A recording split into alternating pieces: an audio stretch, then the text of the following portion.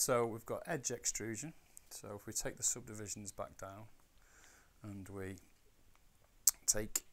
from edge mode and take this edge and just fire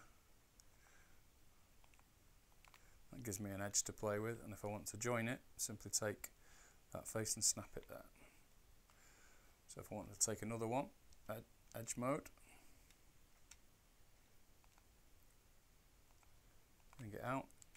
point mode and just snap it down.